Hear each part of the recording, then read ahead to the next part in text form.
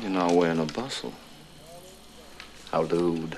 Come on, Holliday. You in or out, God damn it. Why, Ed Bailey, you look like you're just about ready to burst. Well, I suppose I'm deranged, but I guess I'll just have to call. Isn't that a daisy? Son of a bitch. Hey, Billy, just settle down. Shut up. Take your money and get out. Because I'm tired of listening to your mouth. Why, Ed Bailey. We cross? Does this mean we're not friends anymore? You know, Ed, if I thought you weren't my friend, I just don't think I could bear it.